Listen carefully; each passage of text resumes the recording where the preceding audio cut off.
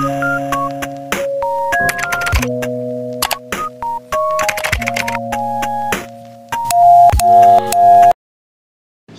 Sultan seporsi hampir 100 ribu. Nih, siomaynya gundul-gundul gede. Hari ini mau nyobain somai yang konon katanya paling mahal se Indonesia. Semahal itu bisa seenak apa? Ini harganya satu berapa? Satu 16.000 C. Wah, rek. Kayak biasanya aku 16 ribu ya. Itu sudah warak. Ini ada apa aja? Somai, telur, Heeh. panjang, tahu, kentang, kol, pare, kulit. Tahu harganya sama aja. Pare podo. Kol podo. Asli aku. Ada isinya. Oh, ya wes ya Nggak wes. ya. Tapi ki siomaynya non halal ya. Kapan buat halal? Kita sih ada C, cuman yang kayak buat bazar aja C. Oh, yang halal. Ah. Mereknya podo. Ah, lain. Apa? Somai ayam kapuk. Ini siomay dari tahun berapa? 1973 C. Wih, lebih tua daripada aku dong. Hmm, ini yang isi telur, geng. Hmm, rempahnya enak, nggak pahit loh. Ini tuh dagingnya tuh berasa banget. Terus bumbunya ini ya uh, kental tapi nggak sampai terlalu kental. Terus ada kayak gerinjil-gerinjil apa sih? Uh, kacangnya tuh masih berasa. Tapi ini ya bumbunya tuh pedes. Jadi nggak ada yang nggak pedes. Ini bumbunya kalau dikentelin dikit lagi wes perfect deh, enak. Pecinta siomay non halal cobain ya, siomay ayung di Muara Karang. Nah yang tak coba ini porsi jumbonya ya pakai cecek alias krecek. Uh, gila banyak banget. Ini sih buat bisa buat dua orang ya, gengs. Ya tanda banyak banget. Pulang liburan sekeluarga pengen bakmi, jadi kita cobain bakmi sapi Nusantara. Uniknya ini bakmi pakai topping daging sapi dan khas Nusantara. Selain original, mereka juga ada yang ladu ijo, terus ada bumbu taliwang, ada rendang juga sama sapi krecek. Ini best seller. Porsinya ada yang biasa, ada yang jumbo dan udah lengkap sama perintilannya. Ada serundengnya nih. Serundeng kayak kelapa gitu. Ini tipe mie-nya eh, keriting kenyal-kenyal ya. Oke, enak kok. Hmm, cecek empuk banget. Ceceknya nggak pedes ya.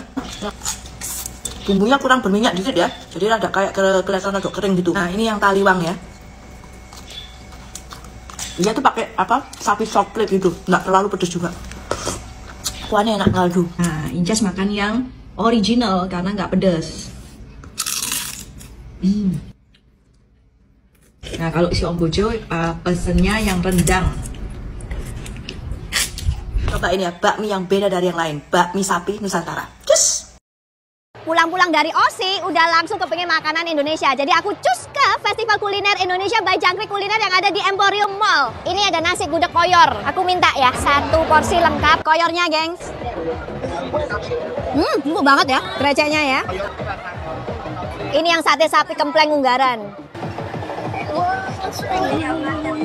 Nah kalau Pak Kimchi mintanya duck meat. Nah ini paket mie bebek ya, ada bebek, ada baksonya, ada telurnya sama keripik pangsit. Wah, enak bebek empuk. Kamu mau mie citan toh? Doyanan Mau, chili oil? Doyan dong. Toppingnya ada telur puyuh, bakso, terus ayam cincang sama ayam merah. Ini chili oilnya. Ya, hmm, mantep banget. Mie chili oil.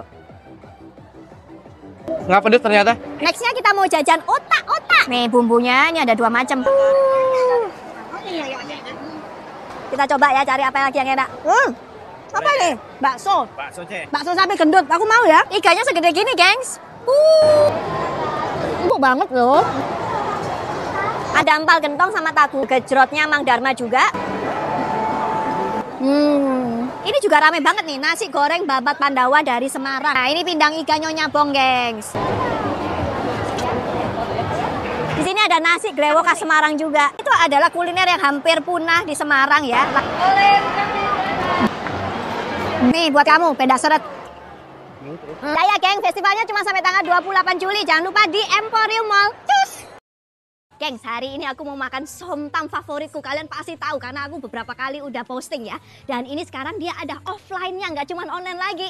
Buat yang belum nyobain, ini ada free tester, gengs.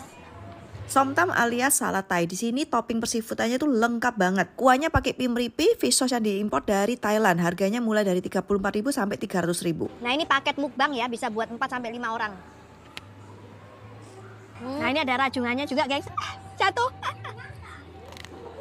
Hmm, dagingnya tuh manis banget. Ini ada salmonnya juga. Ini salmonnya mentah ya gengs ya. Hmm, ada strawberry juga. Nih ada udangnya, gengs. Udangnya mentah juga ya.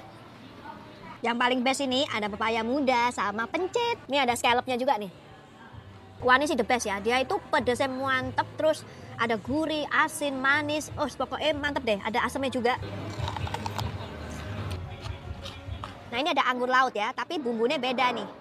Uh. Hmm, kenyus-kenyus gitu loh. Favoritku nih, nanas disiram sama bumbunya. Waduh, mantep banget. Hmm, suwager banget apalagi pakai bumbu ya. Maaf ya, makan ini nggak bisa cantik, harus barbar. Cobain ya somtam by Queen Kitchen. Ini the best somtam. Lokasinya itu ada di Old Shanghai, Sedayu City. Ceker tanpa tulang. Hmm, enak enak, pedas mantep keruk. Tuh lihat ya gengs, ini ceker tuh gede-gede terus gendut-gendut gitu loh. Bumbunya ini loh, pedas mantep, gurih, ada manisnya dikit ya, tapi nggak terlalu manis juga. Hmm, mantap deh. Hmm, kenyal-kenyal. Hmm, ini tuh aku belinya dari dapur Irda ya. Ini lama-lama ya pedes.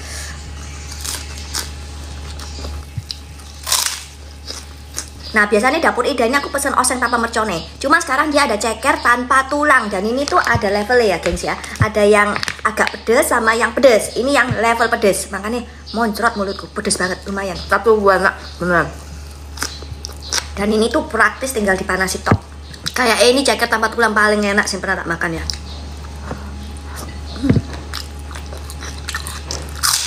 Cobain ceker tanpa tulang dari dapur Ida. Bisa kirim ke seluruh Indonesia Udah lapar nih, langsung aja kita makan nasi padang kalau nggak dimek-mek nggak afdol. Jujur ya, favoritku tuh gulai tunjang. Empuk terus kuah gulainya itu medok, enak banget dimakan sama nasi sama sayur singkong. Terus ditambahin sama rendangnya. Dan yang paling penting yang bikin semuanya jadi mantep ini kerupuk jangeknya. Apalagi disiram kuah gulainya, hmm mak krenyes. Oh ya terong baladonya juga enak loh. Mereka ini pakein cumi asin sama pete. Pokoknya makan di pagi sore ini nagih banget tiba-tiba nasi sewakul habis. Lama banah.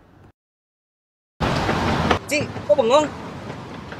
Martabak harganya mahal banget. Ngeten ta iki? Piro iki? 210, Rek. Ini martabaknya dari tahun berapa nih? Tahun 84. Tahun 84. Nah, ini Iya. martabaknya kok bisa mahal gitu ya? Iya, itu tergantung bahannya ya. Oh, bahannya bagus. Ini mahal. pakai apa? Wisman. Wisman. Terus tuwebel gitu mungkin ya? Iya. Martabak paling mahal yang pernah saya lihat ini. Iya. Iya. Tapi ini enggak ada martabak asin ya? Enggak ada. Cuman manis Spesial manis. Oh, spesial manis. Manis. Ini dari tantenya dulu. Dari Om. om. Dari om dulu. Emang ini resepnya keluarga gitu. Dari zaman dulu. sama Sama si om. om ya. Oh. Nih lihat martabak setebel ini. Uh, sampai drodos-drodos. Ah, tapi enak adonannya. Enak banget. Wangi ya. Terus yang gede tuh crispy-crispy. Satu kali gigit naik satu kilo. Kita plastik kantong plastik sama sarung tangan ya, Ci? Tapi enak banget. beneran. Ini yang coklat kacang wijen, gengs. Bismillah sih ya, Rek. Enak, tapi aku lebih suka yang keju. Soalnya ini agak manis ya. Ini enak banget ya, cobain martabak manis spesial sinar bulan di Muara Karang.